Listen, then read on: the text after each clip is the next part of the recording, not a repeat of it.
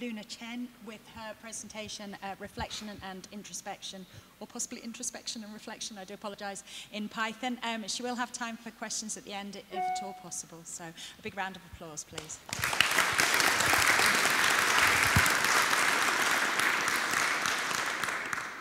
Can everybody hear me okay? Wow, that's actually quite loud. Um, there are actually more people than I expected. This is actually my first time speaking at PyCon. Um, so a quick introduction. My name is Luna Chen, and uh, I work for a fintech startup in London called Thought Machine. Um, today's subject is going to be introspection and uh, reflection in Python. Some, some of you might have known me from PyLadies and uh, London Django meetup since I've um, done this same talk before. And uh, when I did those talks, I actually um, had slides, but today I decided to do something totally different. And uh, instead of bringing in slides, um, I was just thinking, okay, since I'm going to do live coding anyways, how about we just um, actually write the slides together? Why not? It would be more fun, right? Um, so okay, let's get started. Um, so if you're from another language background, you might have used introspection or reflection. For example, if you are from a PHP background, you might have used something like um, reflection class. Or if you're from a Java background, you might have used something like uh, um, whoops, um, object.getMethods. Um, but how about in Python? Um, has any of you used any kind of introspection or reflection in your code before? Okay, nice. Um, give me a second, sorry. Um, so basically, um, what I've, from what I've seen is um, introspection and reflection are being used interchangeably in the Python community. Actually, you know what? That's actually not correct um, because the purpose of those two are totally different. Um, for introspection, the um, purpose is to examine. So it's like a passive act. And uh, reflection is, sorry about that.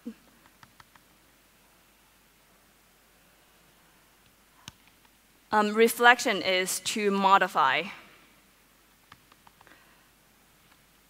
So it's an active it's more active than, reflection, than introspection. And uh, so if you would like to know what I meant, let's create a new file called, let's start from introspection and uh, create a new file called introspection.py.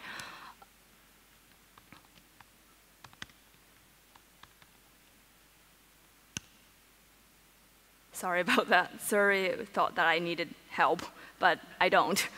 Um, so Um, okay, so just some quick definition of introspection.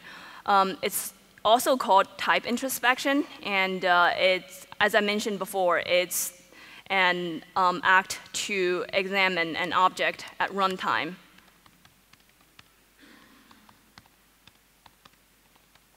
So you can know um, what kind of attribute this object has and uh, or um, what type of object this is. So you, some of you might have used something like the dir method or um, object dot dunderdict um, attribute.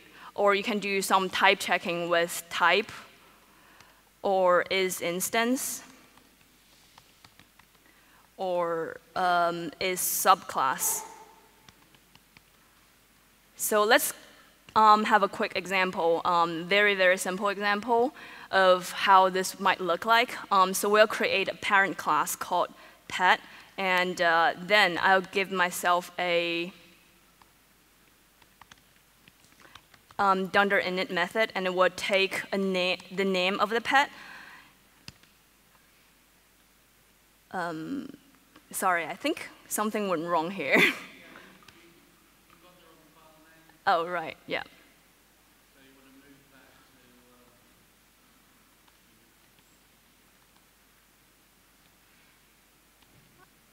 Oh, sorry. I, I, think I'm just getting really nervous. I totally mistyped everything. okay, let's um, start. Um, so we will um, create a class called pet.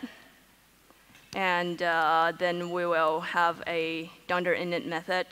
And it would take itself and uh, the name. And then we will just have another method called um, um, get name. And that doesn't do anything but print out the name of the pet. And then we will have a, another class called um, clownfish, since I had a clownfish ASCII art there. And uh, then we'll just do one thing, like have one method, um, swim, and then all it does, it doesn't actually do anything, but um, it would do, it would print out the name of the pet and uh, it would say swim. Okay, let's create an object from these classes. Any of you have like a good name for a clownfish that's not Nemo? what? Marvin. Marvin, okay, nice. Um, okay. Okay, so um, we will print out the, um, we'll call the dir method on the Marvin, and uh, then print out the object dot dunderdict. And uh, then we'll check what type Marvin is.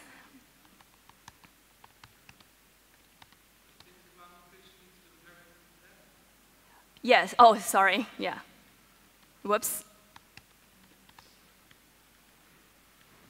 Um, then we'll do, we'll use is instance to check on Marvin to see if Marvin is an instance of, actually just to check whether Marvin is a clownfish or not. And uh, we'll check if our clownfish is a pet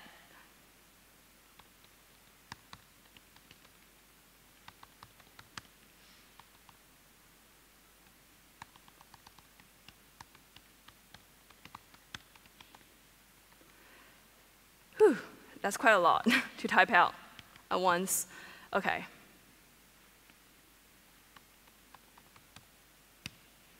So, okay, so you can see like there are um, all these, I think I did some double thing here, did I?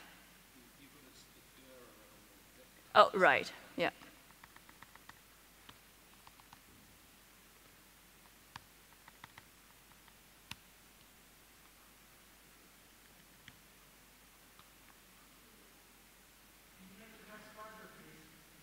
Oh, okay. I think I have to quit the terminal um, after that.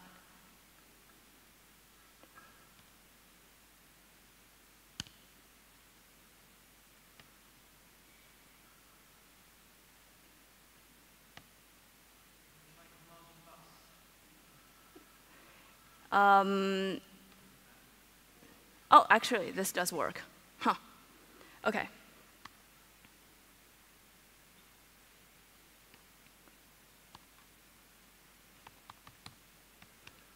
Okay, so um, you see um, the dir, method, dir method actually prints out all the attribute name of um, this object. And you might wonder what, why are these dunder methods here and or dunder attribute there um, because you didn't create it. So the reason is um, all the objects are inherited from the built-in object um, class. Um, so whenever you create a class, it's actually being inherited, automatically being inherited from object. And then if you remember in Python 2, you had to actually um, um, subclass that. And uh, then we've got the um, dunderdict um, attribute, and then it gives you a um, key value pair of attribute to the actual value. You might wonder why the swim method isn't there. So um, that's because the Marvin itself is actually a object, and so as the class itself. So um, any kind of um, any kind of attributes that's um, being called is actually not writable, and then so anything that's writable for, to Marvin is his name, not like so you can change his name all you all you want, or you can actually add another method like um, I can show you. So if I do something like um, Marvin um, get name equals to just like anything like print hello. now this would show up.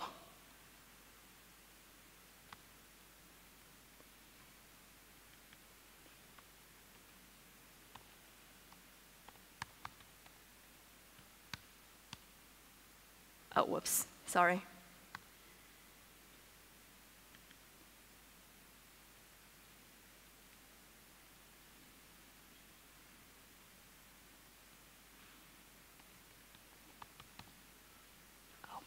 Sorry about that. Um,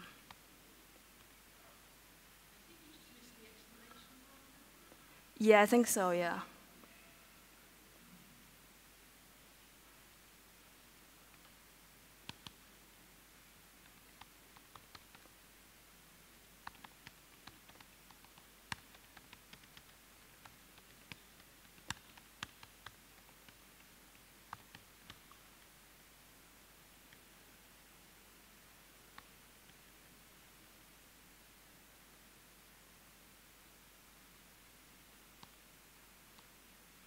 actually.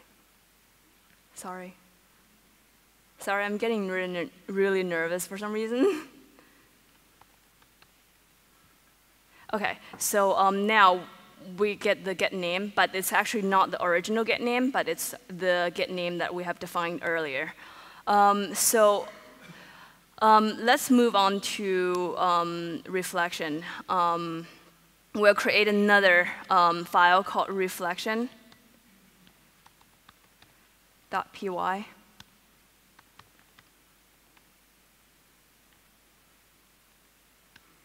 And uh, so as I mentioned earlier, reflection is actually um, more powerful than introspection. Um, so it's to both to examine and uh, to modify at runtime.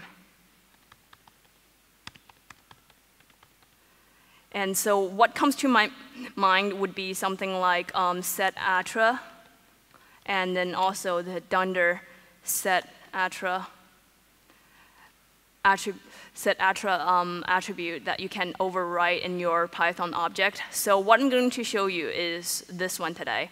Um, so basically, I would, so what it does is um, it actually gets you any kind of um, methods that you have not defined in your class if um, so certain criteria is being met. So basically, if we are going to create um, a object like this from a class called greetings um, with, with name called, um, actually I don't want this as comment now. With the name as um, Audrey. And uh, so if I call something like greeting, nice to meet you. And uh, um, it would um, give me something like Audrey, nice to meet you. And uh, then if I call any kind of, any number of arbitrary method like good morning, it would be the same thing. And uh,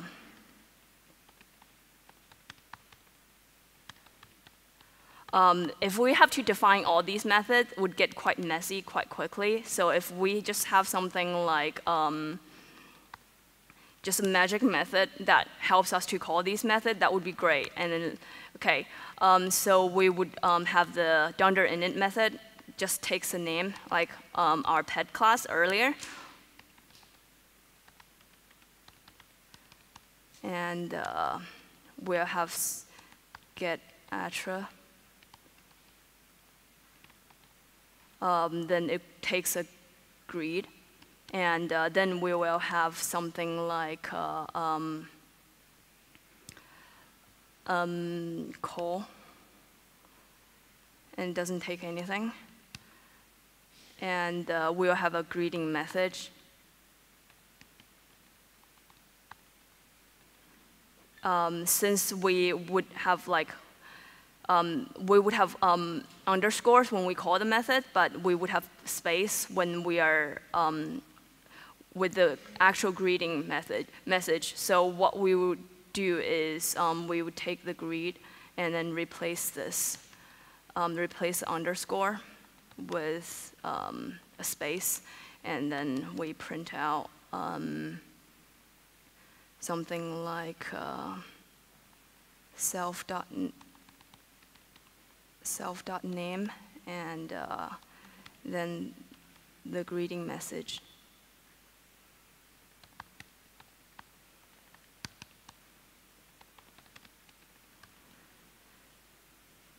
Okay, let's, let's try and run this and see what happens.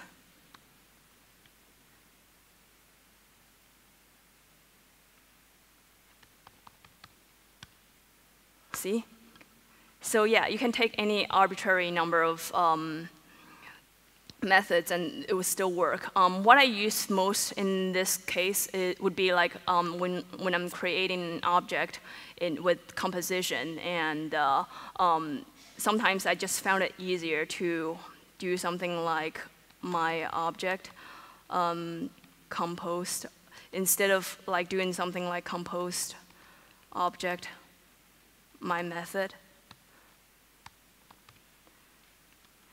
I could just do something like this and then have it have everything to call the method inside of my, my compose method.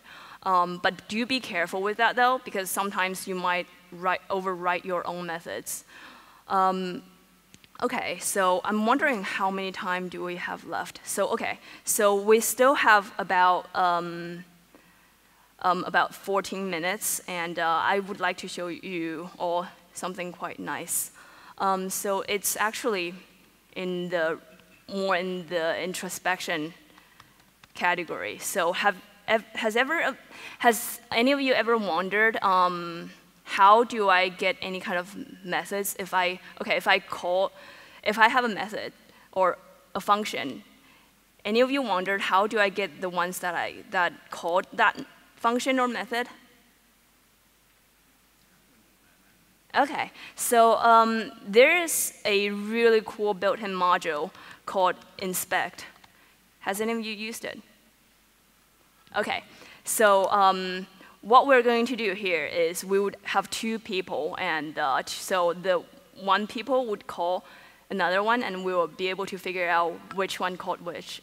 Okay, so we would, um, first of all, we would create a decorator. Um, if any of you never used a decorator before, so it's really simple. Basically, it's, some, it's just like a function that runs um, code before a, another function. Instead of um, calling a specific function every single time or write that code or duplicate that code every, in every single method of yours or function of yours, um, we could just have a decorator on top, and then that looks a lot cleaner. Um, since this um, talk is not about um, decorators, I'm not going to go into this too much. So um, one of the things that I would like to, I would recommend it, with decorators is always use this um, method from functools called wraps because it makes um, your decorated function looks exactly like, like the original.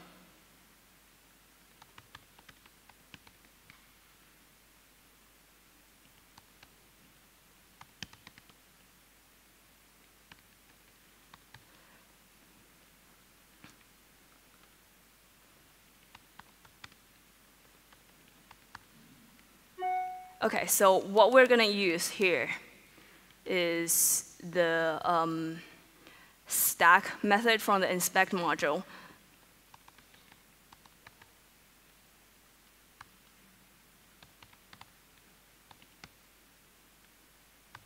So what it does is um, it gives you a list of callers frame info, um, with the first one being actually being the inspect.stack, and then so it kind of goes up to see which caller it is. So um, what we would do here is just to print out um, the name of the function we're decorating.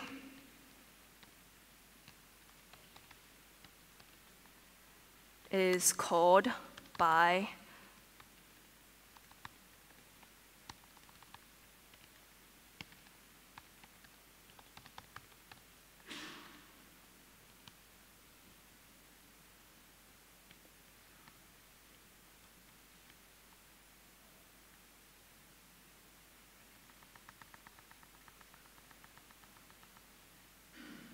And now we will return the callable.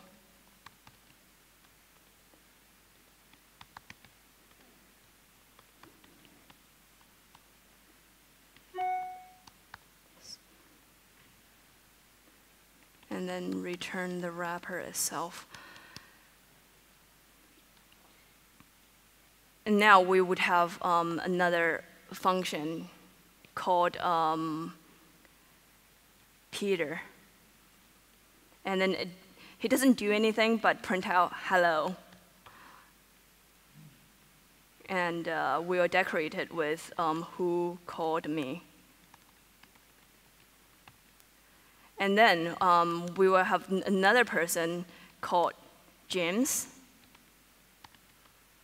And then James would just call Peter.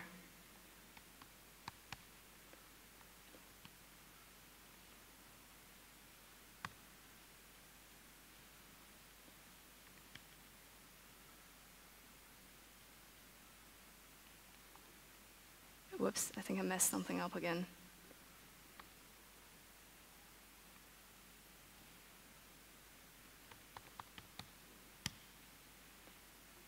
Oh my god.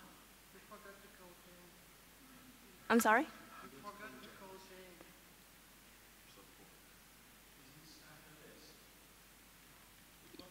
Oh, yeah, yeah, right, sorry.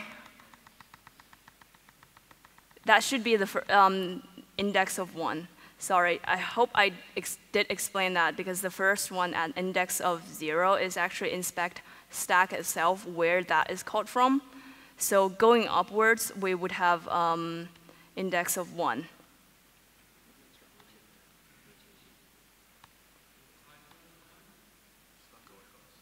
Oh, right. Okay, give me one moment.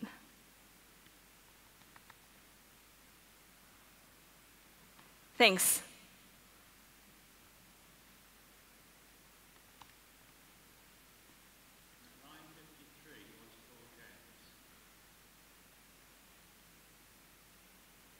Oh, yeah, yeah, yeah. Sorry.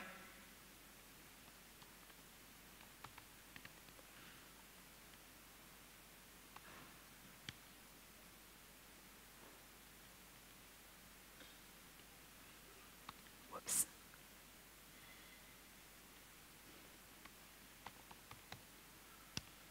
Here we go. So, um, yeah, so, okay. Um, so there's a lot more you can do with um, inspect on, so all these examples or introspection or in, um, reflection.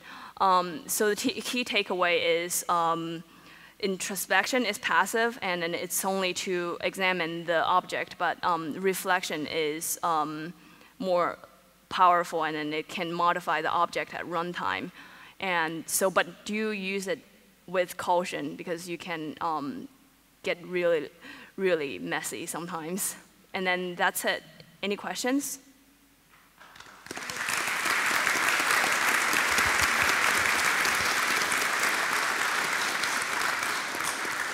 So uh, thank you for Lu- to Luna. Uh, we do have time for a couple of questions. So if anybody has a question, I'll come around with the microphone for you. Please make sure it's a question. I've had strict instructions. Um, please, can, can you tell us some useful things you've done with inspection and introspection? Okay, so one of the things that I did actually in my last company, you can probably check it out on my blog post as well. Um, give me one moment, I will actually open that up. Um, so um, there are some um, examples on my blog post. Basically, what I did is um, I created a um, API um, kind of uh, actually a um, sorry, I'm kind of getting nervous. Um, um, kind of like a module. So basically, it allows you to call different APIs. Um, with like as Python modules, what I did was just using like um, importlib to actually get each module. So instead of um, um, actually specifying what name it is, you can do that in the runtime, and then it creates objects at runtime, kind of like a factory pattern. I understand what you said. Yeah. Okay, I think, I think we've run out of time for any more questions, I'm afraid, for the next people. Okay. So Feel free to um, talk to me up, um, off the stage. Thank you. Thanks. Okay, big round of applause again for Luna. Thank you very much.